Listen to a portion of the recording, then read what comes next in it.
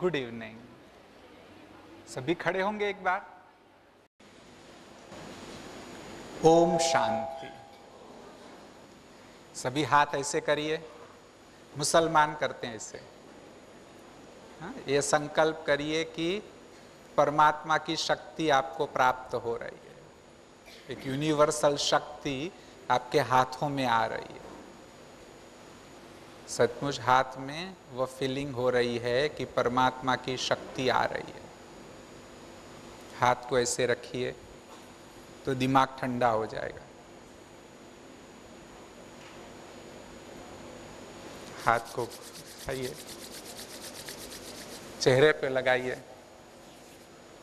हम्म? चेहरा भी लाल हो जाएगा। तो आप लोग भी ब्रह्मा कुमारी बहनें कहती है कि कपड़े सफ़ेद, जेब है खाली। कपड़े सफ़ेद, जेब है खाली। फिर भी चेहरे पे है रूहानी लाली। और बन रहे हैं हम विश्व के माली। तो ऐसा आप सब भी कहने लगेंगे। अच्छा तो इमोशनल इंटेलिजेंस की जो बातें हम चर्चा करने जा रहे हैं आप भी उसमें जितना हो सके पार्टिसिपेट होने की कोशिश करना। कल भी मैंने आपको कहा था कि जितना आप ज़्यादा इन्वॉल्व होंगे, कुछ बोलिए भी पार्टिसिपेट भी होइए तो ज़्यादा से ज़्यादा फ़ायदा है, वो इससे ले सकेंगे। आज से 108 साल पहले निंजर एम्यूनल जो एक बहुत ही बुद्धिशाली व्यक्ति था हम इंटेलिजेंस की बात कर रहे हैं, उसकी बुद्धि बहुत तेज थी। वो बहुत अच्छा चित्रकार था। आसपास में लोग भी उसे जानते थे। एक दिन वह करीब में ही दुकान में कुछ खरीदारी करने के लिए गया। खरीदारी करने के बाद उसने 20 डॉलर है वह दुकानदार को दिए।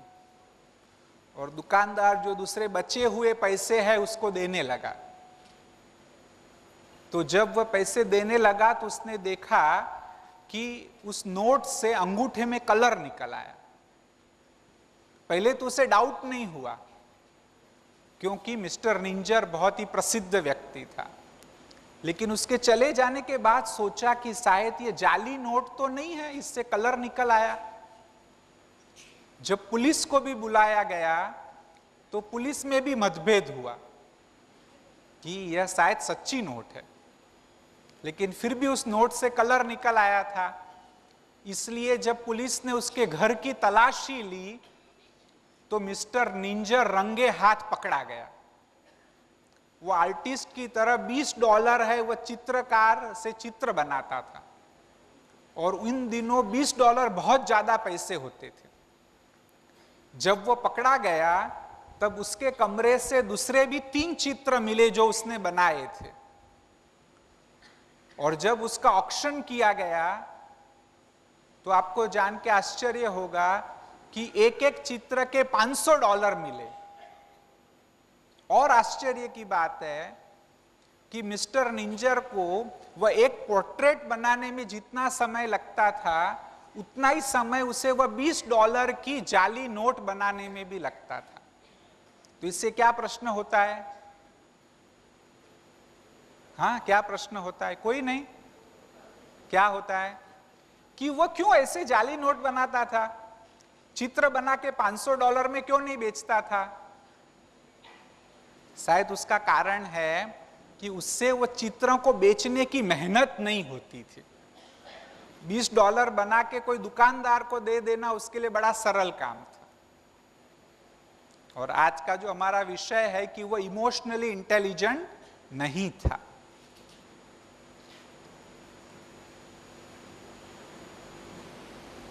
तो इमोशनल इंटेलिजेंस में जिस व्यक्ति की इंटेलिजेंस अच्छी नहीं है, वह क्या सोचता है कि मैं निराश हूँ क्योंकि मेरा सब कुछ खो गया। हाँ कई लोग कहते हैं, कई आत्महत्या भी करते हैं कि मेरा सब कुछ चला गया, इसलिए मैं निराश हूँ। अमिताभ बच्चन, जब कौन बनेगा करोड़पति से फिर से फ़िल्म इंडस्ट्री में आए, तब उन्होंने एक बार कहा कि मैं सफल हुआ क्योंकि मेरा सब कुछ खो गया था। तो ये दोनों के बीच में देखिए कितना बड़ा फ़र्क है। और यही बात है कि जो हमें इमोशनली इंटेलिजेंट बनाती है। नेक्स्ट प्लीज़, मेरी और ही देखते रहो।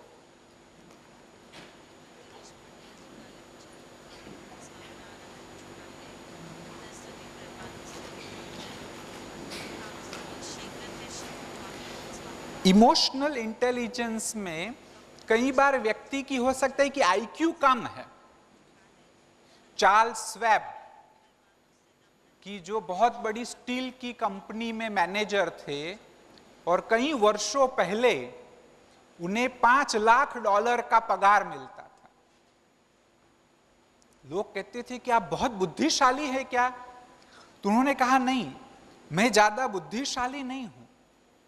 परंतु मेरे में सिर्फ़ एक ही बात है कि मैं लोगों में इंथुजियाजम भर सकता मैं लोगों में इतना इंथुजियाजम क्रिएट करता हूँ कि जिसके कारण आज लोग एक संगठन के रूप में काम करते हैं और मुझे इतना ज़्यादा पगार मिल रहा है। वास्तव में आप क्या कहते हैं वह महत्वपूर्ण नहीं है, परंतु लोगों के साथ जब व्यवहार करते तब आप कैसे व्यवहार करते हैं, वह बहुत ही महत्वपूर्ण एक बार एक कवि सवेरे सवेरे पैदल करने के लिए गए। तो रास्ते में उनको एक भिखारी मिला।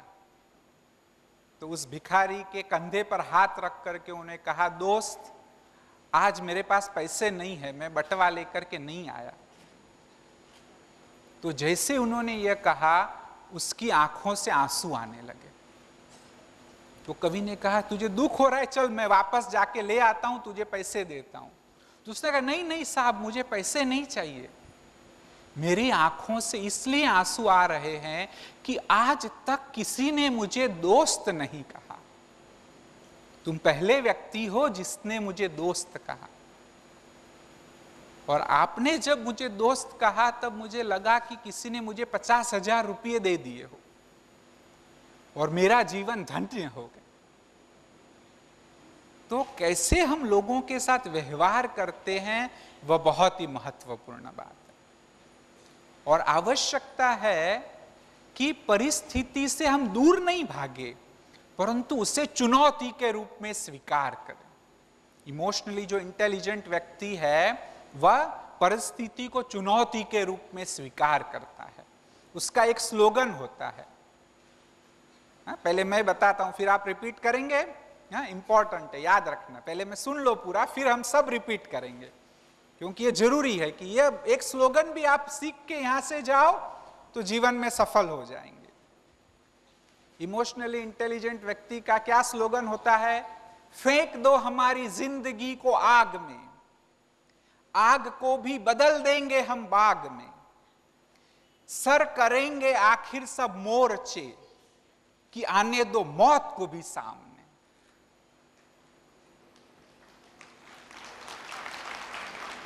हाँ रिपीट करेंगे? हाँ कई मुझे कहते हैं कि भी आप हमको बच्चे की तरह सिखा रहे हो। परंतु अगर सचमुच कुछ सीखना है तो बच्चा बनना पड़ेगा। अच्छा हाँ तो रिपीट करेंगे ना? हाँ फेंक दो हमारी ज़िंदगी को आग में। अभी बच्चे नहीं बने आप लोग। हाँ आग को भी बदल देंगे हम बाग में। सर करेंगे आखिर सब मोर्चे कि आने दो मौत को भी सामने। पक्का? अच्छा।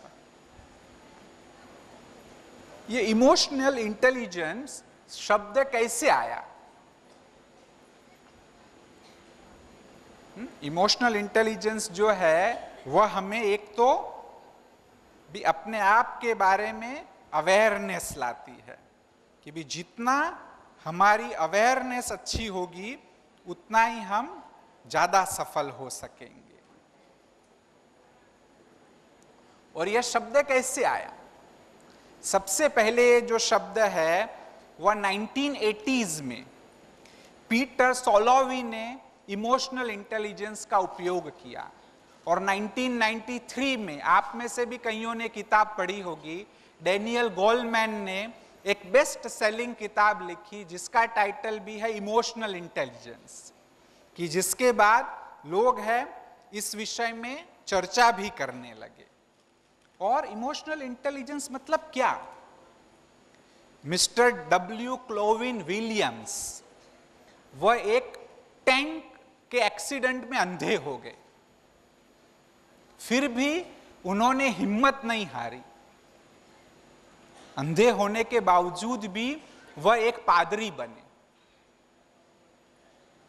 और जब वह एक सफल पादरी बने, तब उन्होंने कहा कि यह जो ब्लाइंडनेस है, वह मेरे जीवन में वरदान बन गई है। क्यों? क्योंकि अभी मैं ब्लाइंड हूँ तो लोगों की बाह्य बातों को नहीं देखूँगा। बाह्य चीज़ों को देख करके निर्णय नहीं करूँगा, परंतु मैं आंतरिक बातों पर ध्यान दूँगा। बाहर से व्यक्ति कैसा भी हो, फिर भी मैं सबके साथ एक जैसा व्यवहार करूँगा। तो यह है इमोशनल इंटेलिजेंस एक जर्रो था, कहीं कमज़ोर सा पड़ा। हवा ने उसे उड़ाया तो तूफ़ान बन गया। एक नन्हे से बीज को गर्मी ने तोड़ डाला। वृक्ष यूँ चढ़ा आसमान में। डरना ना, जमाने को जिसे भी रोका, जमाने ने जिसे भी रोका, वह बड़े ते बड़ा इंसान बन गया। तो इसलिए समस्याएँ आए तो भी डरना नहीं, क्योंकि समस्या ही वास्तव में हमें आगे बढ़ाती समस्याएँ हमें बहुत कुछ सिखाती भी है। और हमें इमोशनल इंटेलिजेंस व्यक्ति वह अपनी फीलिंग्स के साथ अवेयर होता है कि इस वक्त मुझे क्या फीलिंग्स हो रही है। हाँ आप सब अवेयर हो कि नहीं हो? हाँ। एक शिक्षक ने विद्यार्थियों को पूछा कि सत्य और ब्रह्म में क्या फ़र्क है? तो एक विद्यार्थी खड़ा हुआ कहा सर आप बोल रहे हैं वह सत्य है और आप समझते हो कि हम सुन रहे तो आपका भ्रम है।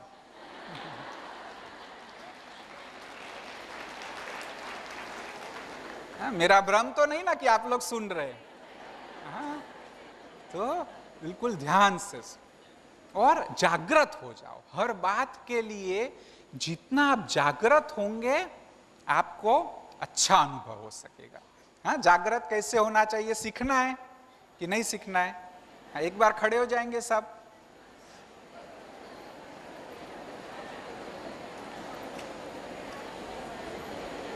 हाँ हाथ को ऐसे करिए।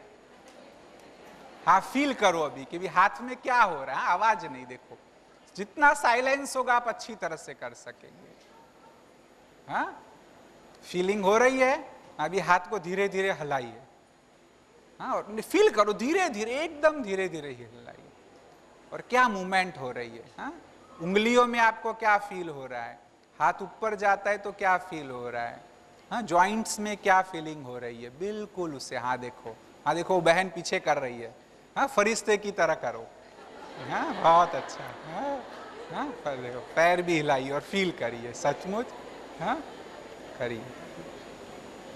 करिए। और फास्ट करिए, लेकिन फीलिंग चालू रहे हाँ फास्ट कर लेकिन फीलिंग फील करो फील करो।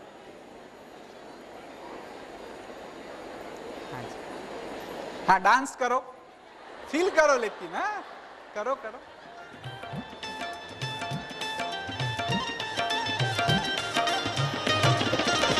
करो करो करो करो। फील करो, हंसो नहीं हाँ। फीलिंग होनी चाहिए जैसे भी डांस करना है।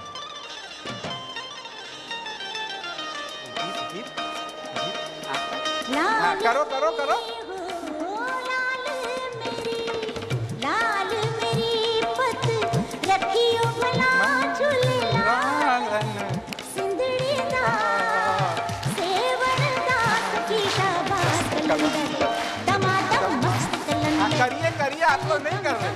दा सेवन दा की शाबाश कलंदर दमादम मस्त ताली बजा रहे हैं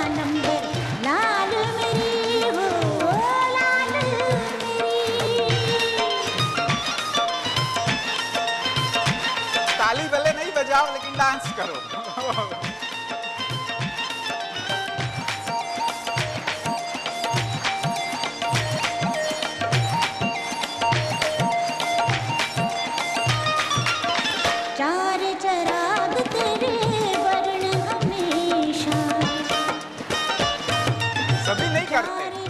बहुत लोग खड़े हैं।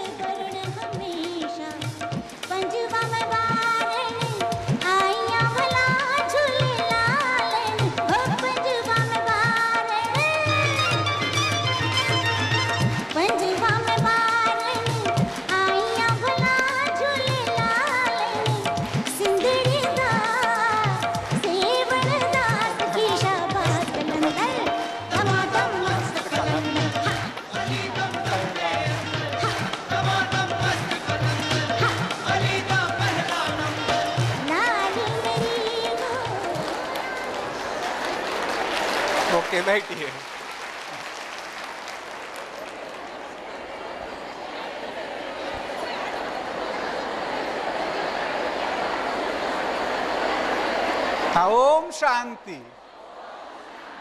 फील किया? हाँ सिर्फ़ डांस करना नहीं था। इसका लक्ष्य यह था कि जो भी कर रहे हो, उसको फील करिए।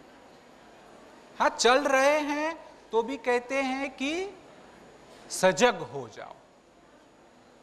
कि भी क्या हो रहा है? एक पैर उठा रहा हूँ, फिर दूसरा पैर उठा रहा हूँ। खाना खा रहे हो, सजग हो जाओ कि क्या फीलिंग हो रही जितनी आपकी अवेयरनेस है वो बढ़ेगी, उतना ही आप इमोशनली इंटेलिजेंस भी होंगे। हम्म? और नर्सिंग का अर्थ क्या है? हाँ आप अलग अलग डेफिनेशन देंगे, परंतु मैं कहता हूँ कि नर्सिंग का अर्थ है लोगों को मिलना। नर्स मतलब पेशेंट के बिगर काम कर सकते हो? नहीं हाँ तो नर्स मतलब पेशेंट और सिर्फ़ आपने जो नर्सिंग स्किल सीखे वो इंपॉर्टेंट नहीं है। परंतु पेशेंट के साथ कैसे व्यवहार करना, वह बहुत बहुत महत्वपूर्ण है। हाँ उसको हमें अच्छी तरह से सीखना चाहिए। एक बार नायर हॉस्पिटल में, वहाँ पीडियाट्रिक डिपार्टमेंट में एक नर्स थी। तो बच्चों के बदले उनके जो माँ बाप थे, वो आके बड़ा तंग करते थे। तो जब भी माँ बाप तंग करते थे तो कहीं नर्स है वो तो उन पर गुस्सा करती थी कि शट आप बाहर जाके बैठो या अंदर नहीं आओ। लेकिन एक बहुत ही इमोशनली इंटेलिजेंट नर्स थी।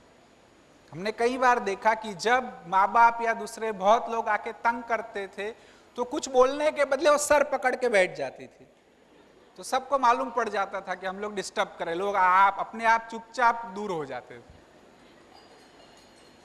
तो ऐसे लोगों से व्यवहार कैसे करना बहुत इंपॉर्टेंट और एक नर्स थी, आप जानते हैं पीडियाट्रिक डिपार्टमेंट में कहीं हम खिलौने रखते हैं। परंतु उसने क्या किया कि भी बच्चे रोते थे बीच बीच में। एक बच्चा रोता था तो सारे रोने लगते थे। तो क्या करती थी कि उसने एक खिलौना लाया था कि जो म्यूज़िक भी बजता था। तो जब भी कोई बच्चा रोता था, उसका म्यूज़िक स्टार्ट करके बच्चे के पास चली जाती थी तो बच्चा शांत हो जाता तो ऐसे हम किस प्रकार लोगों के साथ व्यवहार करते हैं वह बहुत ही महत्वपूर्ण बात है। और इसमें आप क्रिएटिव भी बन सकते हैं। ये नहीं सोचो कि हम तो गवर्नमेंट हॉस्पिटल में जॉब करते हैं, उसमें सब बातें कहाँ मिलने वाली है। लेकिन थोड़ा सा आप अपनी अक्ल का उपयोग करेंगे, और जो भी आपके सामने पेशेंट्स आते हैं, जिस प्रकार के भी पेशेंट्स आते हैं, कैसे हम उनसे डील करें। उसकी कोई अगर नई युक्ति आप ढूंढ निकालेंगे तो बहुत अच्छे फ़ायदे। आपकी अगर आईक्यू अच्छी है, अगर आपकी बुद्धि अच्छी है तो आपको अच्छा जॉब मिल जाएगा। परंतु प्रमोशन तब ही मिलेगा अगर आप इमोशनली भी इंटेलिजेंट हैं। आज कई लोग हैं कि जिनको कॉलेज में बहुत अच्छे परसेंटेज मिले परंतु अगर 25 साल के बाद देखो तो वहाँ के वहाँ है। कोई ज़्यादा प्रमोशंस नहीं मिले। क्यों? क्योंकि उनकी आईक्यू अच्छी थी। परंतु ईक्यू जो इमोशनल इंटेलिजेंस है, वो उनकी इमोशनल इंटेलिजेंस है, वो अच्छी नहीं थी कि जिसके कारण उन्हें प्रमोशन नहीं मिला। और इससे भी आगे, शायद अभी तो संभव नहीं है, दोबारा आप आएँगे तो मैं आपको बताऊँगा कि ईक्यू से भी ज़्यादा महत्वपूर्ण है स्पिरिचुअल इंटेलिजेंस जिसको एसक्यू कहते हैं। क्योंकि जब आपकी एसक्यू अच्छी होगी तो ही सचमुच आप जो सेटिस्फेक्शन का अनुभव करना चाहिए उस सेटिस्फैक्शन का अनुभव कर सकेंगे। और कहते हैं कि इमोशनल इंटेलिजेंस वो आपको एक मोटिवेशन और एम्पथी देती है। सबसे बड़ी बात है मोटिवेशन की। हम्म, आप में से शायद कुछ लोगों को ही पता होगा कि मदर टेरेसा को नोबेल प्राइज क्यों मिला? जब उन्होंने एक नंस के रूप में शपथ ली तब वह एक स्कूल की हेड मास्टर बन गई। परंतु उसे प्रेयर में यह प्रेरणा मिली कि तुम्हारा जीवन गरीबों की सेवा के लिए है। और जब उसने वहाँ के बिशप को भी कहा कि मुझे यह परमात्मा का संदेश है कि मैं गरीबों की सेवा करूँ तो यह जवाब मिला कि नहीं, आप नहीं कर सकते। यहाँ तक परिस्थिति आई कि उनको वह जो टाइटल था स्पिरिचुअल टाइटल छोड़ देना पड़ेगा अगर उसे गरीबों की सेवा करनी हो। तो वह भी अंदर से प्रेरणा इतनी ज़बरदस्त थी कि उन्होंने कहा, ठीक है, भले वह भी मैं छोड़ दूँगी। भले ऐसा नहीं करना पड़ा, क्योंकि एक बिशप ने उन्हें मदद की उनका कार्य आगे बढ़ाने के लिए। परंतु कहने का भाव है कि अंदर में इतनी ज़बरदस्त प्रेरणा थी कि मुझे गरीबों के लिए कुछ करना है। और जब उन्होंने कलकत्ता में शुरुआत की बच्चों को पढ़ाने की तो ब्लैक बोर्ड भी नहीं था। वह रेत में लिख करके बच्चों को पढ़ाती थी। लो, लोग उन्हें गालियाँ देते थे। लेकिन फिर भी क्योंकि अंदर में वह प्रेरणा थी। मोटिवेशन से भी बड़ी बात है इंस्पिरेशन। क्योंकि मोटिवेशन तो कम भी हो सकता है कि भी अभी आप यहाँ पर आए हैं आपको मोटिवेशन हुआ कि हम योग करें परंतु वापस अपने शहर में जाएँगे पाँच दिन के बाद भूल जाएँगे। परंतु इंस्पिरेशन ऐसी चीज़ है कि एक बार बच्चे का जन्म हो गया, फिर उसको जीवन में आगे बढ़ना ही है। तो ऐसे ही एक बार आप में इंस्पिरेशन आ गए, फिर उस क्षेत्र में आपको आगे बढ़ते ही जाना है। तो आप भी ये लक्ष्य रखना कि यहाँ से सचमुच इंस्पायर होकर के जाओ। और इमोशनल इंटेलिजेंस हमें अपनी फीलिंग्स के बारे में भी अंडरस्टैंड कराता है। हमारी फीलिंग्स और औरों की फीलिंग्स के बारे में भी अवेयरनेस लाता है। जब ब्रह्मा कुमारी ईश्वरी विश्वविद्यालय की स्थापना हुई, तब ब्रह्मा बाबा जो करीब साठ साल के थे और मम्मा सिर्फ़ तब सोलह वर्ष की थी। और और भी छोटी छोटी बहनें, जैसे आपने सुना, हृदय मोहिनी दादी जी नौ साल की थी तो वह लोग सभी एक साथ में रहने लगे, सेवा करने लगे तो कुछ समय के बाद एक व्यक्ति शंका की नज़र देख करके आया, क्योंकि बहुत सारी कन्याएँ रहती थी। तो बाबा को कहीं प्रश्न पूछे तो ब्रह्मा बाबा ने कहा कि देखो, ये लोग तो आध्यात्मिक पुरुषार्थ करने के लिए आई है। मैं तो उन्हें कुछ नहीं देता हूँ, मैं तो उन्हें अच्छे कपड़े भी नहीं दे सकता हूँ, फिर भी ये लोग यहाँ रहती है। उसका मतलब है कि उन्हें सचमुच आध्यात्मिक बातों में रुचि है और वो पुरुषार्थ कर रही है। तो तब मम्मा और दादी ब्रिजेंद्रा दोनों छोटे थे, वो दोनों सुन रहे थे और उन्होंने कुछ गहने भी पहने थे। थोड़े थोड़े ही होंगे, परंतु तब जैसे ही बाबा की ये बात सुनी तो दोनों ने आपस में बात की कि देखो बाबा तो उनको क्या बता रहे लेकिन हमने तो गहने पहने हैं तो क्या करना चाहिए? उन्होंने कहा, हम गहने उतार देते तुरंत इतनी छोटी आयु में 16 साल के थे, फिर भी उन्होंने गहने उतार दी। दिस इज़ इमोशनल इंटेलिजेंस त्याग की बात नहीं है। It's a feeling of others कि भी बाबा ने ये कहा है कि भाई ये लोग तो इतना सादगी से जीवन जी रहे हैं तो सचमुच हमें भी सादगी से अपना जीवन है, वह व्यतीत करना चाहिए। और इमोशनल इंटेलिजेंस के लिए दिमाग और दिल दोनों अच्छे होने चाहिए। आज कईयों का दिमाग अच्छा है, परंतु दिल अच्छा नहीं है। कई वर्ष पहले सिएटल में एक पैरालंपिक्स हुई कि जो लोग फिजिकली डिसेबल्ड थे, उनकी ओलंपिक्स हुई। तो उसमें आठ बच्चे हैं, वह रनिंग रेस में फाइनल में आए। और जब 400 मीटर्स की रनिंग रेस हुई तो थोड़ा ही आगे बढ़े तो एक बच्चा है, वह गिर गया। तो उसके आगे जो लड़की दौड़ रही थी, वो थोड़ा पीछे आई, उसको कहा, नहीं, उठो उठो, तुम उठो, कोशिश करो। लेकिन वो बहुत निराश था। फिर भी उसने कहा, नहीं नहीं, हिम्मत करो, उठो, दौड़ो। लेकिन फिर भी वो निराश था। इतनी देर में तो और भी जो छह बच्चे आगे दौड़ रहे थे, उन्होंने भी पीछे देख लिया और सारे के सारे पीछे आए। और उस बच्चे को उठाया और सभी ने हाथ में हाथ पकड़ करके वह लोग दौड़े और फिनिशिंग लाइन पर साथ में पहुँचे। और जब यह दृश्य देखा तो वहाँ पर पाँच हज़ार लोग खड़े थे। सभी लोग खड़े हो गए और इन बच्चों को स्टैंडिंग ओवेशन दिया। और दूसरे दिन अखबार में न्यूज़ छपे कि हिस्ट्री हैज़ बीन क्रिएटेड कि आठ लोगों को साथ में गोल्ड मेडल मिला। दूसरी बात छपी कि we call them mentally retarded are they mentally retarded और spiritually advanced so this is a team work कि जब इस प्रकार की एक फीलिंग हो, कि हृदय भी हमारा अच्छा हो, कि जब हमारा हृदय अच्छा हो तो बहुत कुछ कर सकते और अगर दिल को अच्छा बनाना हो तो क्या करो? दिल खुदा को दे दो। तो ऑटोमेटिक आपका दिल है, वो अच्छा हो जाएगा। आप यहाँ आइए। हाँ भले भाई को भेज दो। हाँ आइए आइए भाई, यहाँ आओ। ऊपर आओ स्टेज पे। आप आप। अच्छा चलो उनके पीछे वाले आ जाओ। हाँ आप भैया, ऊपर आओ स्टेज पे। हाँ डरो नहीं डरो नहीं। आइए आइए। हाँ यस यस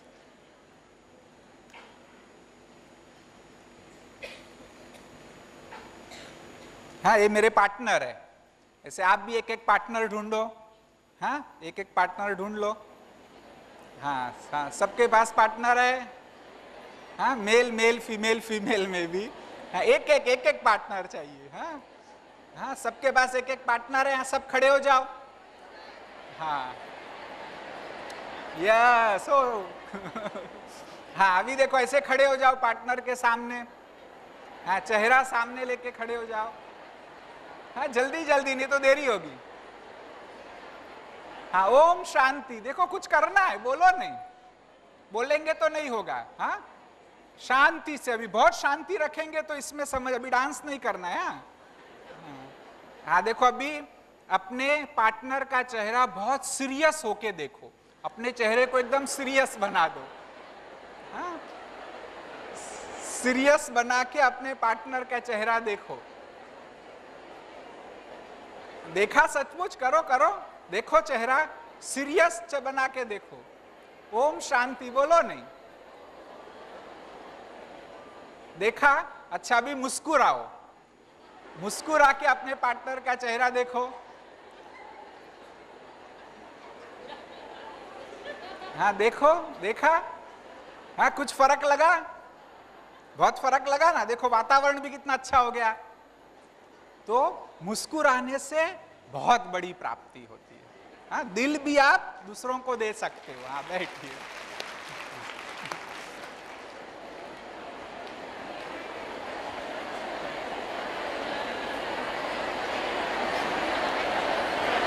हाँ जी, ओम शांति। हाँ आवाज़ कम करेंगे तो मैं जल्दी पूरा करूँगा। हाँ? भले इंजॉय ज़रूर करना है। हाँ मैंने आपको कहा भी था कि सिर्फ़ लेक्चर नहीं देना है, क्योंकि लेक्चर की बात तो आप भूल जाएँगे। कुछ एक्शन की होगी तो आपको याद रहेगी। हम्म? तो जो दादी हृदय मोहिनी जी ने भी कहा कि सदैव मुस्कुराते रहो। और मुस्कुराएँगे तो आप अपना दिल भी है, औरों को दे सकेंगे। और बहुत बड़ी प्राप्ति होगी। कहते हैं कि फानुस बनकर जिसकी हिफाजत हवा करे, फानुस बनकर जिसकी हिफाजत हवा करे वह क्षमा क्या बुझेगी जिसे रोशन खुदा करे? तो ये सोचो कि खुदा ही मुझे रोशन कर दे।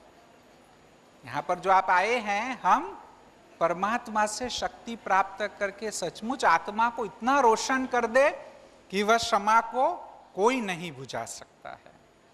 और इमोशन का अर्थ है energy in motion, E plus motion. तो सचमुच इमोशंस में बहुत बड़ी शक्ति है। एक 24 साल की महिला को कैंसर हो गया। और डॉक्टर ने कहा कि आप छह महीने से ज़्यादा नहीं जिएँगे। और सचमुच वह भी मरना चाहती थी, दिन गिनती थी कि छह महीने से ज़्यादा तो नहीं जीऊँगी। लेकिन अचानक एक्सीडेंट में उसके पति की मृत्यु हो गई। और एक एक साल के बच्चे को वह छोड़ करके गया। और एक छोटी सी दुकान थी सिर्फ़। वह सचमुच इतनी निराश हो गई थी, मरना ही चाहती थी। पति के मृत्यु के बाद तो वो और जल्दी मरना चाहती थी।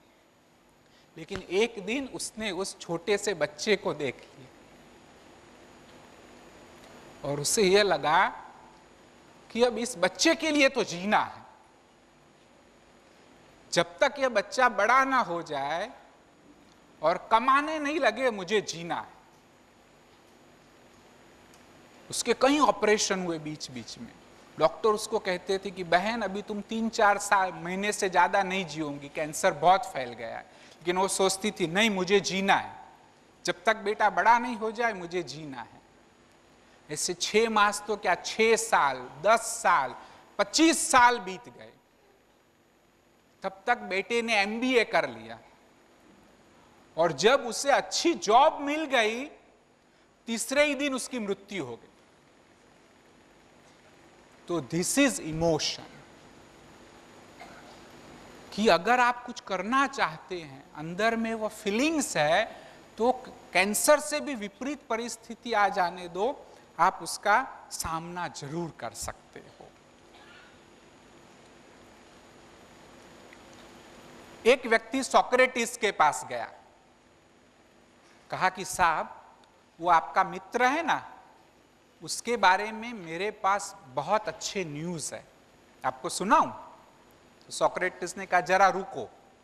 हम ट्रिपल फ़िल्टर टेस्ट करते कहता, क्या? कहते हाँ इसमें तीन फ़िल्टर है। कौन से है तीन फ़िल्टर पहला है कि क्या आपकी बात सत्य है? कहता है, नहीं, ये तो किसी ने मुझे सुना ही है पता नहीं सत्य है। तो कहा, देखो, एक फ़िल्टर से तो तुम फेल हो गए। कभी दूसरे फ़िल्टर से भी पास हो तो भले सुनाना। दूसरा फ़िल्टर की क्या वह बात अच्छी है, कहता है, नहीं साहब तो बहुत बुरी बात है। तो कहा, दूसरे फ़िल्टर से भी तुम्हारी बात फेल हो गई। चलो, तीसरे फ़िल्टर से भी पास हो तो भी ज़रूर सुनाना। तीसरा फ़िल्टर क्या है कि क्या वो यूजफुल है? कहता है, नहीं साहब, ये तो बेकार की बात है। तो कहा, तीसरे फ़िल्टर से भी फेल हो गया, अभी नहीं सुनाओ मुझे। तो ऐसे जब भी कोई आपको उल्टी सीधी बात सुनाने आता है तो इमोशनली इंटेलिजेंट बनना है तो ये तीन फ़िल्टर से पहले पास होना। तीन में से कोई भी एक फ़िल्टर से अगर पास हो जाए तो भी आप ज़रूर सुनाना। और इमोशनल इंटेलिजेंस का अर्थ है कि बुद्धि ऐसी रखो कि आपकी जो इंटेलिजेंस है, उस पर कहीं बादल ना छा जाए। नहीं तो इंटेलिजेंस पर बादल छा जाते और बहुत बड़ा नुकसान होता है। आप देखिए महाभारत क्यों हुआ? हुँ? कटु वचन के कारण। कहा, अंधे की औलाद अंधे। अगर यह कटु वचन नहीं किया होता तो शायद महाभारत नहीं होता। ऐसे रामायण क्यों हुआ? ईर्षा के कारण। मंथरा ने कई कई में ईर्षा का बीज बो दिया। हाँ चलो ईर्षा भी हुई, परंतु सीता को इतना दुख क्यों सहन करना पड़ा? क्योंकि सोने के हिरण के लोभ में फंसी। अगर सोने के हिरण का लोभ नहीं होता तो सब कुछ त्याग दिया था, जंगल में रहते थे। लेकिन फिर भी लोभ के कारण समस्या आई। चलो, लोभ भी हुआ तो कोई बात नहीं है। परंतु उसके बाद परखने की शक्ति नहीं थी कि यह ब्राह्मण नहीं है, रावण है। अगर परखने की भी शक्ति होती तो समस्या नहीं होती। चलो, परखने की भी शक्ति नहीं थी तो कोई बात नहीं। परंतु क्या हुआ? लक्ष्मण रेखा का उल्लंघन। अगर लक्ष्मण रेखा में रही होती तो भी रावण उठा के नहीं ले जाता। तो इसलिए यह सचमुच बातें हैं जो जीवन में अपनाओ ताकि बादल न छा जाए हमारी बुद्धि के सामने और आप इमोशनली इंटेलिजेंट बनो। अब और भी आठ बातें हम देखेंगे। इसके अलावा कि एक इमोशनली इंटेलिजेंट व्यक्ति में वो आठ क्वालिटीज होती है। वह कौन सी है आठ क्वालिटीज सबसे पहली बात है सेल्फ कंट्रोल और हम सबको जो ज़रूरत है, सभी कहते भी है, यहाँ आते हैं तो भी कहते हैं कि क्यों आए हैं? क्रोध छोड़ने के लिए आए हैं। हाँ क्रोध के बारे में सीखना है कि नहीं सीखना है? सीखना है तो आठ लोग स्टेज पर आइए, दो भाई और छह बहनें। जल्दी जल्दी आओ। हाँ दो भाई भी आ जाओ। हाँ देखो, जल्दी आ गए, बहुत अच्छा। है हाँ अपने अपने पार्टनर बना लो। हाँ एक एक जोड़ी बना लो। यस यस हाँ जल्दी जल्दी आइए अच्छा है। हाँ हाँ दो दो पार्टनर बना लो। हाँ दो भाई भी आ गए।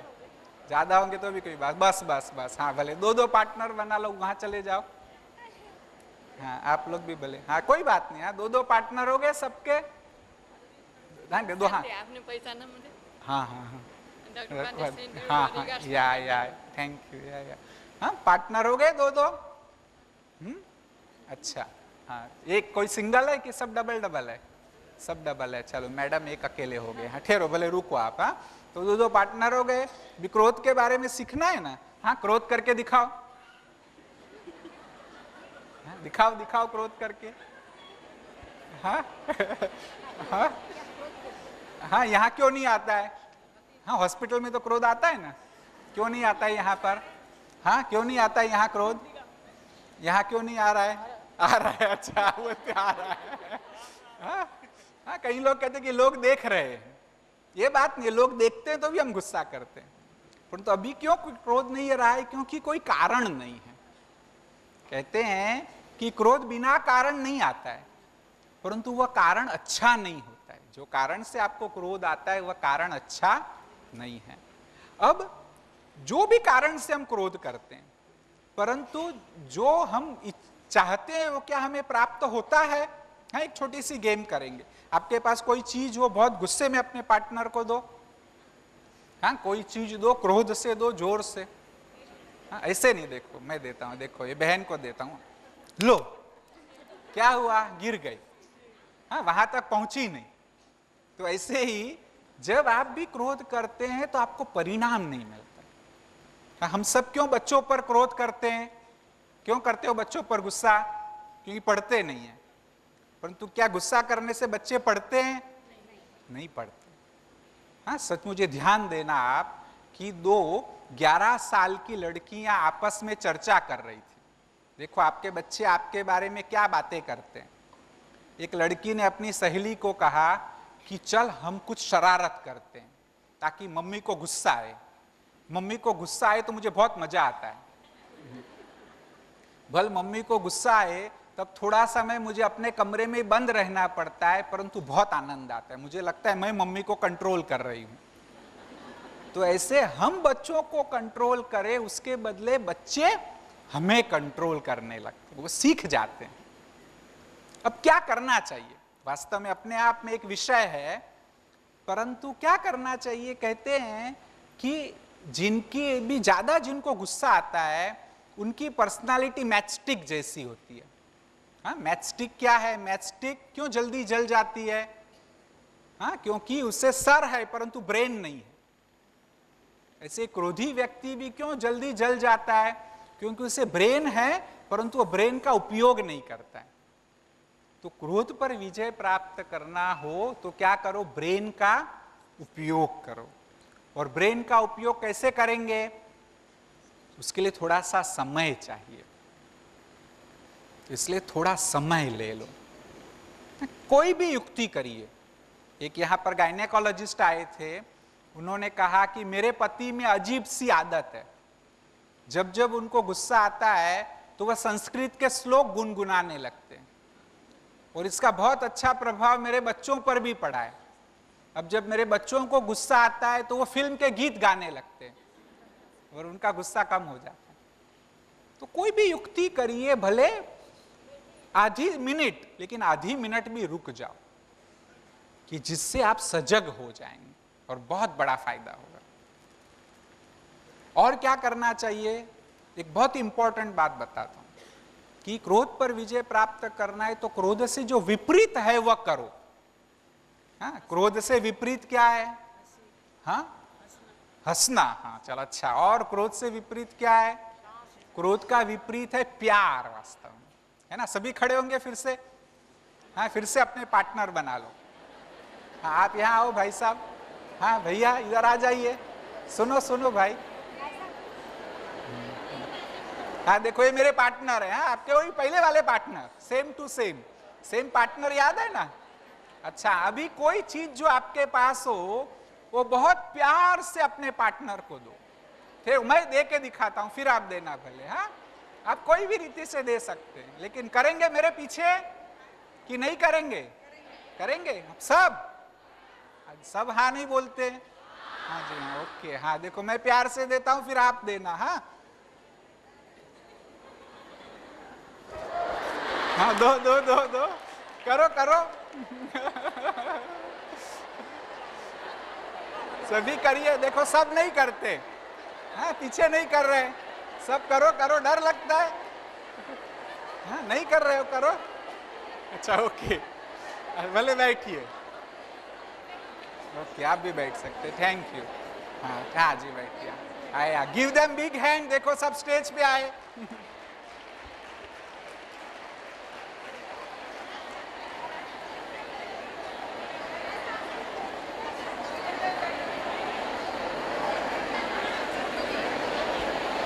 ओके, ओम शांति।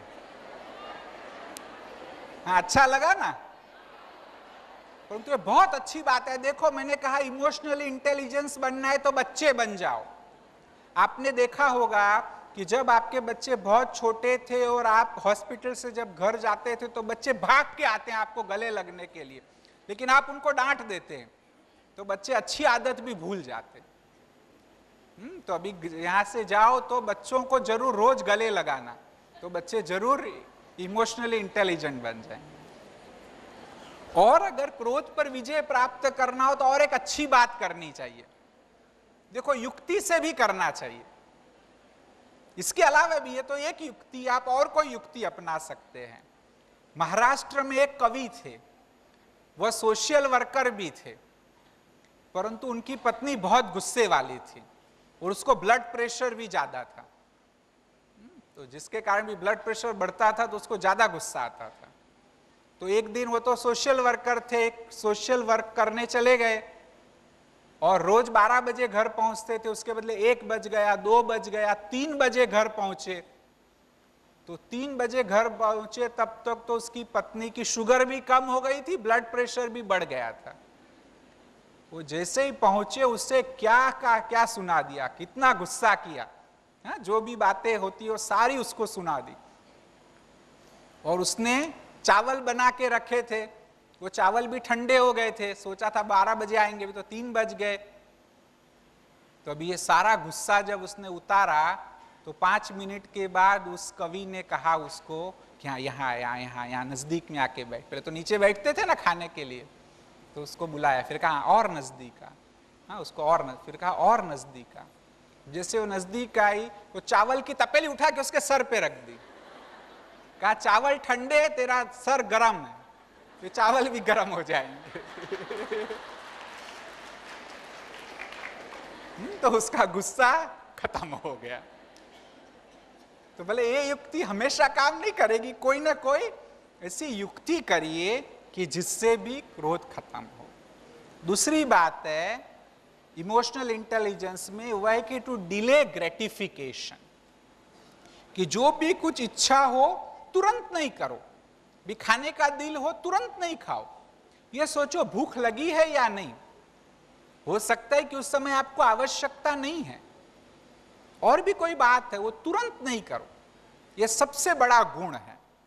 इसलिए कहते हैं कि थिंक बिफोर यू एक्ट कि कोई भी काम करने से पहले सोचो। वास्तव में इससे भी इंपॉर्टेंट बात है कि सोचने से पहले भी सोचो। कुछ भी नहीं सोचो। थिंक बिफोर यू थिंक लोग कहते हैं कि सोचने का टाइम नहीं है, इतने व्यस्त है, हम कहाँ से सोचने का टाइम निकाले? परंतु जो व्यक्ति सोचने के लिए समय नहीं निकालता है, उसको प्रायश्चित करने के लिए समय देना पड़ता है। तो इसलिए प्रायश्चित न करना पड़े तो ज़रूर सोचने से पहले भी अवश्य ही सोचो। तीसरी बात है, तीसरा गुण है कि कैन डू एटीट्यूड।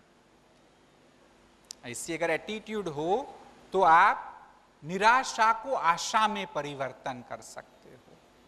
और एटीट्यूड बहुत महत्वपूर्ण है वास्तव में। एक बार एक शिक्षक थे, वो अपने विद्यार्थियों को यह समझाना चाहते थे कि शराब बहुत ही बुरी चीज़ है, शराब नहीं पीनी चाहिए। तो उन्होंने सोचा कि एक प्रयोग करके दिखाऊँ तो बच्चे समझ जाएँगे कि शराब कितनी बुरी चीज़ है। वह दो ग्लास लेके आए, एक में पानी भरा था, एक में शराब भरी थी। और जो पेट में कीड़े पड़ते हैं, वो पेट के कीड़े भी ले आए। एक कीड़ा उन्होंने पानी में रखा तो कीड़ा तैरने लगा। दूसरा कीड़ा है, वह शराब में रखा तो कीड़े की मृत्यु हो गई। फिर बच्चों को पूछा कि, बच्चे, इससे क्या सीखने को मिलता है? तो एक बच्चा अपनी कुर्सी से कूद पड़ा कहा सर सर, इससे यह सिद्ध होता है। उसने कहा, सर अगर पानी पिएँगे तो पेट के कीड़े नहीं मरेंगे। शराब पिएँगे तो कीड़े मर जाएँगे।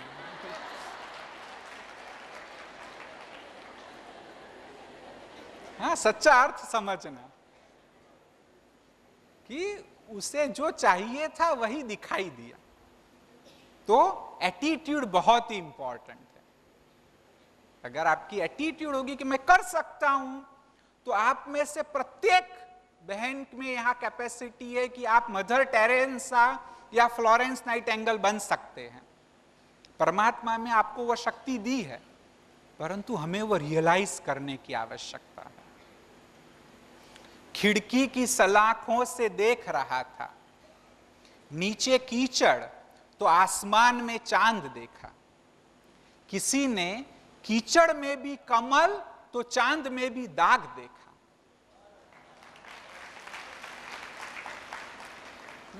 तो आपके ऊपर है कि आप क्या देखते हो? हम्म, कीचड़ में भी कमल दिखाई दे सकता है। और यह है कैन डू एटीट्यूड चौथी बात है सेल्फ डिसिप्लिन इमोशनली इंटेलिजेंट व्यक्ति के पास सेल्फ डिसिप्लिन होती है। और सेल्फ डिसिप्लिन से ही कुछ भी करने की क्षमता आती है। 1982 में आर्मेनिया में बहुत बड़ा भूकंप हुआ कि जिसमें चार हज़ार लोगों की मृत्यु हो गई। एक पिता को जब यह समाचार मिला, तब उसका बच्चा स्कूल में था और स्कूल का मकान भी कोलैप्स हो गया था।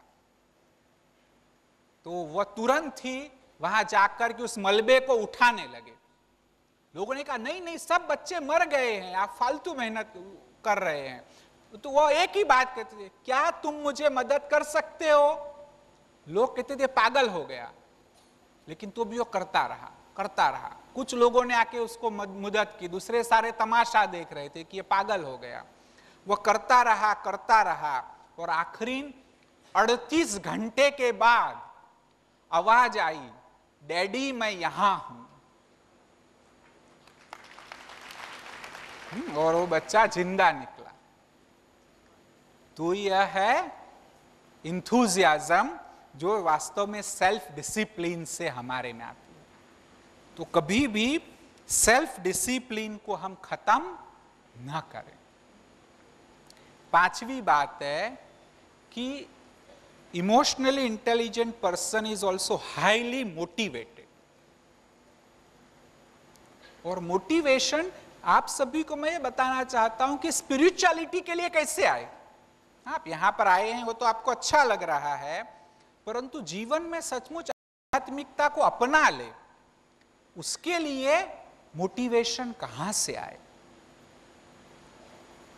एक बार कबीर जी आटा पीस रहे थे हाँ उन दिनों में चक्की चला के आटा पीसते थे ना तो आटा पीस रहे थे तो आटा पीसते पीसते रोने लगे, और रोते रोते उन्होंने एक दोहा लिखा, क्या लिखा? चलती चाकी देख कर दिया कबीरा रोई। दो पाटन के बीच में साबुत बचा न कोई। जब चक्की चलती है तो उसके बीच में कोई भी दाना साबुत नहीं बचता है। ऐसे जीवन संसार रूपी चक्की में भी हम सब पीसे जाते हैं। पीसे जाते हैं ना? हाँ कोई दाना बचता नहीं है। उसी समय बाजू में ही उनका बेटा कमाल भी बैठा था। वह भी देख रहा था। वो भी देखते देखते उठ के नाचने लगा। और नाचते नाचते उसने भी एक दोहा लिखा। क्या लिखा? ध्यान से सुनना। हाँ कमाल ने लिखा चलती चाकी देख कर दिया कमाल ठठियाई। जो कील से लगा रहे उसे काल कभी न खाई।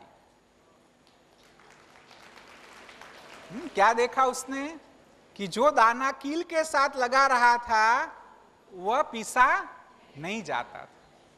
तो ऐसे ही परमात्मा भी इस संसार रूपी चक्की की कील है। उसको अगर आप लगे रहेंगे तो पीसे नहीं जाएँगे। हाँ तो सबको करना है ना?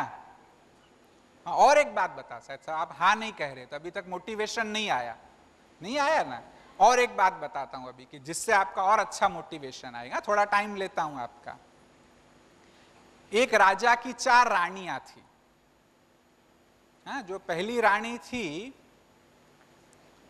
जिसको राजा जहाँ भी जाता था हमेशा साथ में ले जाता था। जहाँ भी जाए राजा उस रानी को हमेशा साथ में ले जाता था। दूसरी रानी थी वो बहुत सुंदर थी।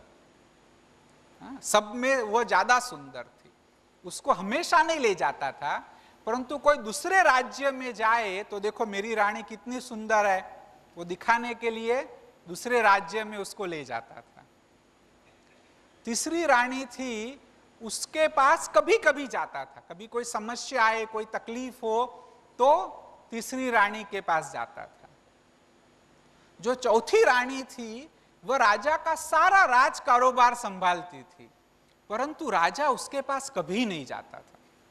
सारा राज्य का कारोबार वो चौथी रानी ही संभालती थी। फिर जब राजा की मृत्यु नज़दीक आई तो राजा ने सोचा कि भी ये चार में से कुछ रानियाँ तो मेरे साथ चलेगी। तो राजा ने पहली रानी को बुलाया और पूछा कि क्या तुम मेरे साथ चलोगी?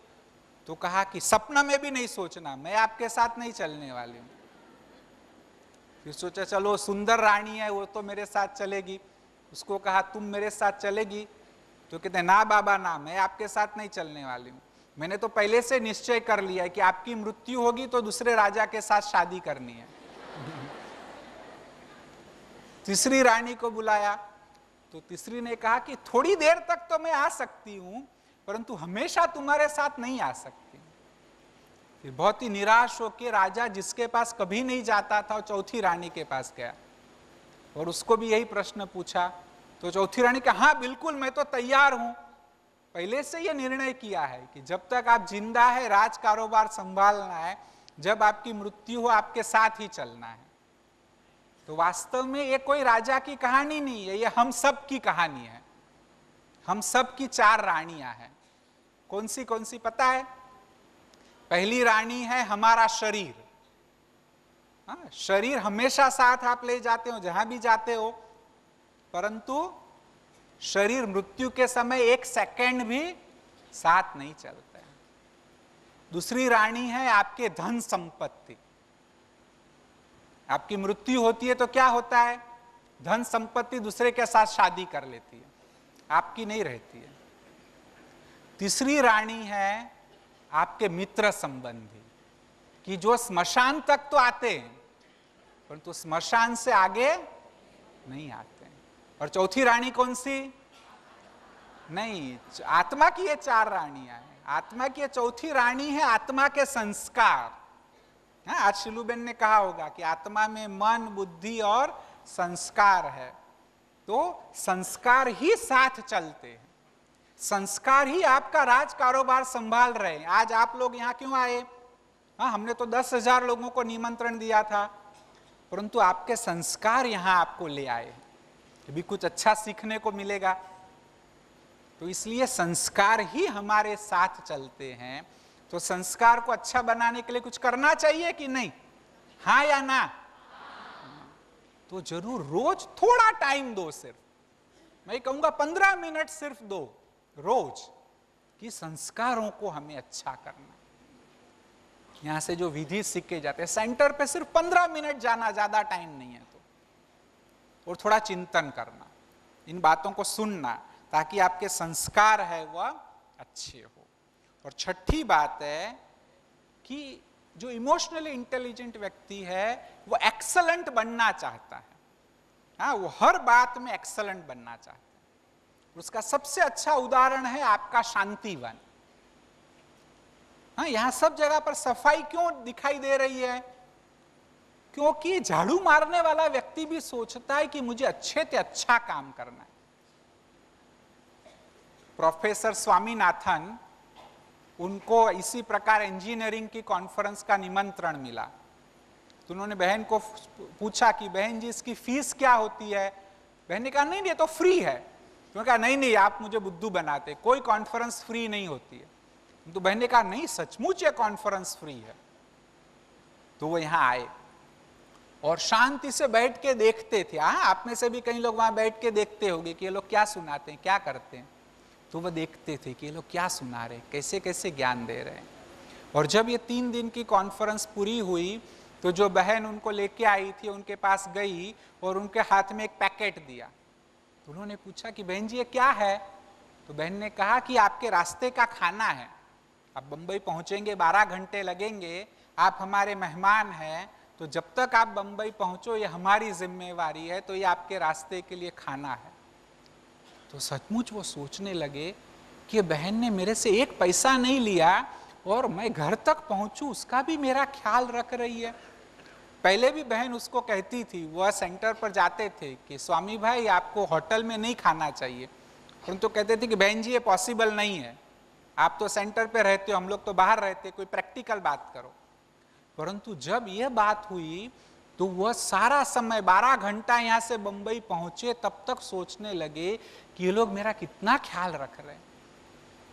और उन्होंने सोचा कि कुछ भी हो जाए भले भूखा रहना पड़े, सहन करना पड़े, मर जाऊँगा, मिट जाऊँगा, लेकिन बाबा की श्रीमत का ज़रूर पालन करूँगा।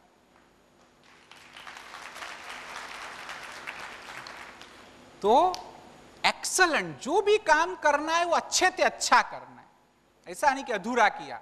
हाँ जब मंदिर में जाते हे भगवान, मुझे ये कर देना। वो क्या है? स्वार्थ की बात है। परंतु पंद्रह मिनट भी परमात्मा को याद करो, ऐसे करो कि सबसे अच्छे से अच्छे बन जाओ। हाँ ब्रह्मा बाबा भी कहते थे कि हम गृहस्थ में रह करके भी जो सन्यासी है, उनसे भी अच्छा जीवन व्यतीत कर सकते हैं। हाँ नेक्स्ट बात है कि उनका कैरेक्टर भी अच्छा होता है। हुँ? और कैरेक्टर क्या है कि जब कोई देख नहीं रहा है, तब जो आप करते हैं, वो आपका कैरेक्टर है। तो हमेशा ये लक्ष्य रखो कि मुझे कैरेक्टर अच्छा रखना है। और कैरेक्टर अच्छा रखना हो तो क्या करना पड़ेगा पता है? कि यह क्या है? ह्यूमन बीइंग हम कहते हैं ना कि भी ह्यूमन और बीइंग ह्यूमन वो ह्यूमस से बना है। जिसका अर्थ है ह्यूमस मतलब कि मिट्टी। तो मिट्टी और उसमें चेतना, आत्मा ह्यूमन बीइंग तो आप सोचो कि आपको सॉइल कॉन्शियस बनना है या सोल कॉन्शियस बनना है? हाँ सॉइल कॉन्शियस बनना है। हाँ सोल कॉन्शियस बनना है। तो सोल कॉन्शियस बनेंगे तो ऑटोमेटिक जो आपका कैरेक्टर है वो अच्छा होता जाएगा। हाँ आप यहाँ आएँगे, एक भाई यहाँ आओ। आइए आइए। हाँ जो नहीं आए, कोई नए भाई आ जाइए। आप आए थे पहले? हाँ आइए आइए। जल्दी आइए। हाँ और एक छोटी सी गेम करेंगे। भले आपने सीखा है, लेकिन फिर भी इस गेम से आपको याद रह जाएगा। हाँ क्या नाम है?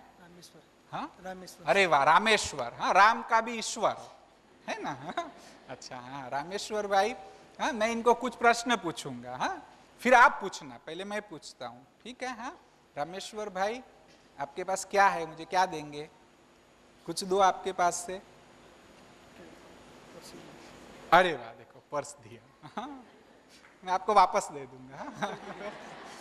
हाँ पहला प्रश्न है ये क्या है? पर्स है। हाँ दूसरा प्रश्न है, किसका पर्स है? किसका पर्स है? हाँ रामेश्वर भाई का है। हाँ यह पर्स रामेश्वर भाई का है। परंतु क्या पर्स आप है? हाँ ये पर्स रामेश्वर भाई नहीं है। ठीक है ना? हाँ रामेश्वर भाई और कुछ देंगे? अच्छा हाँ। हाँ पहला प्रश्न क्या है? हाँ ये क्या है? हाँ दूसरा प्रश्न, किसका है? रामेश्वर का है। तीसरा प्रश्न तीसरा प्रश्न क्या? क्या रुमाल रामेश्वर है? नहीं है अच्छा। हाँ पहला प्रश्न, किसका हाथ है? किसका हाथ है? रामेश्वर का है। दूसरा प्रश्न, बोलो, पूछो पूछो। क्या हाथ रामेश्वर है? नहीं है। नहीं है ना कि है? अच्छा देखो, जल्दी मान गए। हैं तो कई लोग कहते हैं हाथ मैं हूँ। अच्छा तो आगे मैं नहीं ज़्यादा टाइम लेता हूँ।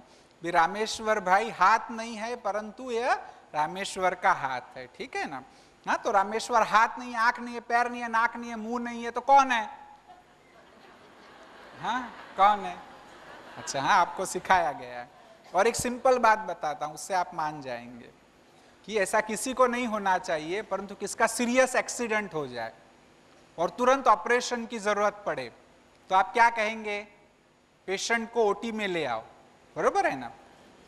परंतु ऑपरेशन करते करते पेशेंट की डेथ हो जाए तो आप क्या कहेंगे? डेड बॉडी को बाहर। तो अंदर गया तो पेशेंट था, बाहर गया तो बॉडी हो गया। क्या चला गया? पक्का? हाँ कि मैं एक ज्योति स्वरूप आत्मा हूँ, शांति से भरपूर आत्मा हूँ। अच्छा हाँ ये सब मैं वापस दे रहा हूँ, आप सब साक्षी है। यू हाँ जी हाँ गिव हिम बिग हैंड और अभी लास्ट बात है कि इमोशनली इंटेलिजेंट पर्सन का जजमेंट भी परफेक्ट होता है। हुँ? और ये जजमेंट पावर जैसे सीता जज नहीं कर पाई कि रावण है तो ऐसे ही हमारे को भी ये जजमेंट पावर लानी है। और जजमेंट पावर कब आएगी? कि सचमुच जब आप कम सोचेंगे, आप कहेंगे, हम थोड़ी सोचते हैं, परंतु सचमुच आप कम सोच सकते हैं। कैसे? कि उदाहरण के रूप में आप अपनी हॉस्पिटल के बाहर आके खड़े होते हैं और आपके सामने से दो कार गुजरती है। वो दोनों कार के मालिक को भी आप जानते हैं। पहले आपके सामने से पंद्रह साल पुरानी फियाट गाड़ी गुजरती है। तो आप देख के सोचते हैं, क्या बेकार डॉक्टर है। अपनी गाड़ी भी नहीं बदल सकता है, कुछ कमाता नहीं होगा। तो पहला विचार आया कि ये पुरानी गाड़ी है तो उसके बाद दूसरे पाँच विचार भी आएँगे। तुरंत एक मिनट के बाद आपके सामने से ब्रांड न्यू सिटी होंडा गाड़ी गुजरती है। तो फिर से आप सोचते अरे, बहुत पैसा वाला हो गया है ज़रूर रिश्वत लेता होगा। नहीं तो इतना पैसा कहाँ से कमाया?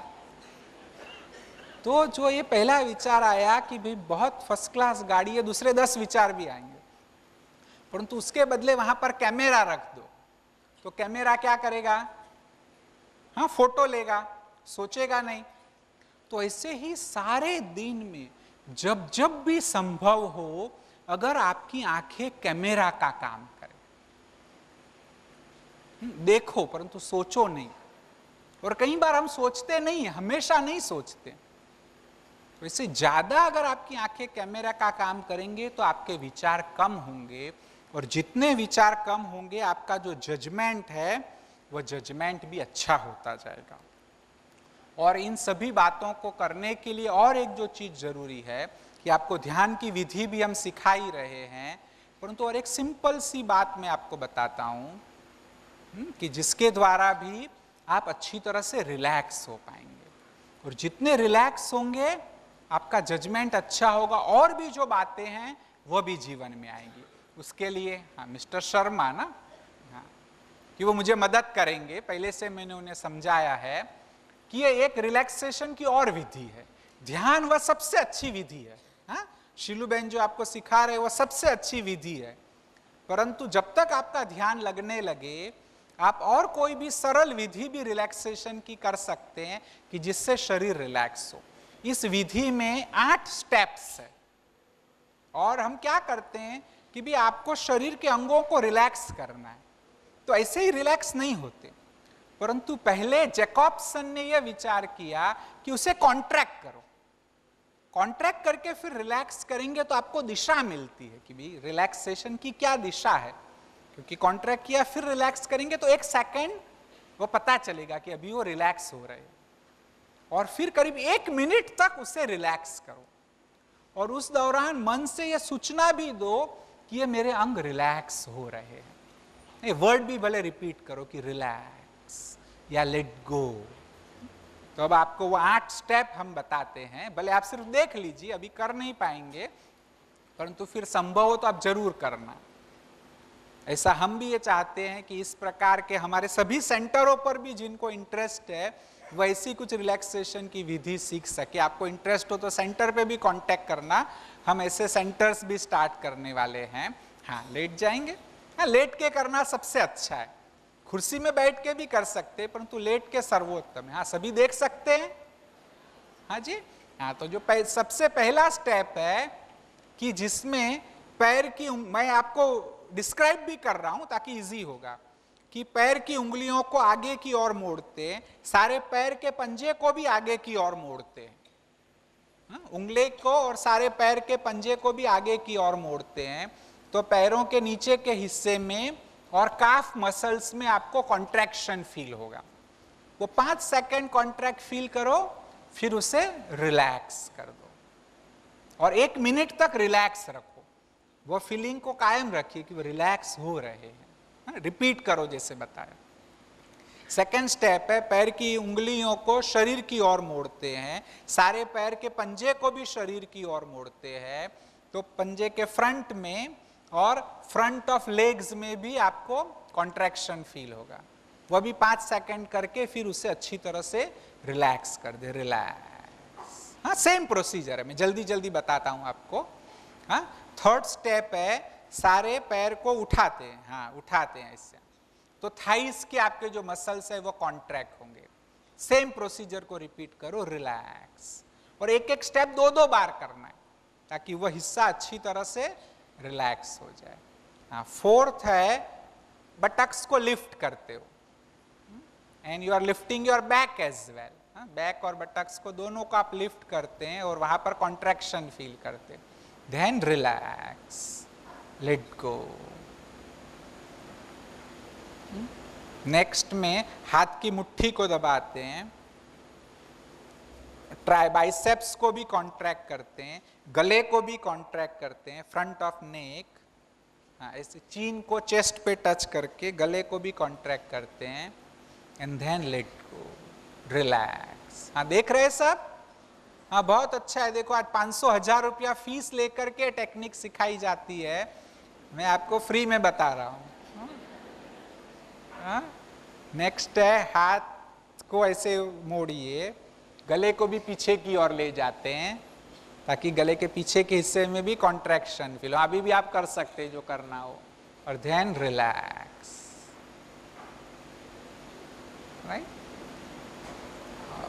और अभी इसी स्टेप में अभी हमने नहीं, लेकिन ये इसके साथ साथ आईब्रोज को भी लिफ्ट करते हैं, ताकि आईब्रोज भी कॉन्ट्रैक्ट हो। एंड देन रिलैक्स और लास्ट है, दांत को दबाते हैं, आँखों को स्क्वीज करते हैं। आप सब करो, देखो, अभी भी आपको अच्छा लगेगा इससे देन लेट को हाँ करिए करिए।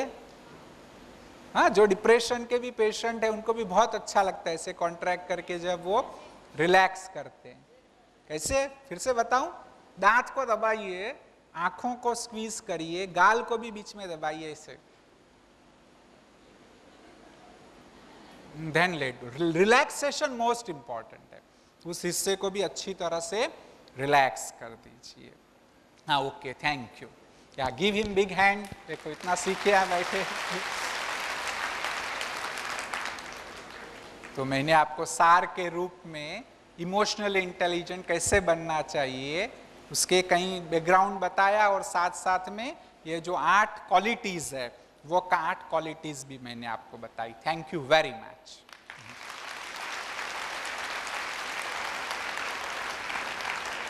जिन्होंने ये पावर पॉइंट प्रेजेंटेशन बनाया है उनको भी हम विशेष धन्यवाद देंगे। हम्म? हाँ, हमारे रवि भाई है हॉस्पिटल में। रवि भाई ने पावर पॉइंट प्रेजेंटेशन बनाया है। और अब मैं आपसे छुट्टी ले रहा हूँ, क्योंकि ज़रूर मुझे रुकना चाहिए था वास्तव में। परंतु ज़रूरी काम है। बोरीवली में एक बहुत बड़ा प्रोग्राम बॉम्बे में कर रहे हैं। फ़र्स्ट मे को उसके लिए वापस जाना है। तो अंत में आपसे विदा ले। उससे पहले कुछ पंक्तियाँ हैं, ध्यान से सुनना। हम्म? ज्ञान चिरागों को पलकों पर महफूफ रखना। ज्ञान चिरागों को पलकों पर महफूफ रखना। दूर दूर तक अंधेरी रात होगी अकेले हो तुम, अकेले है हम, फिर कहीं ना कहीं मुलाकात होगी ओम शांति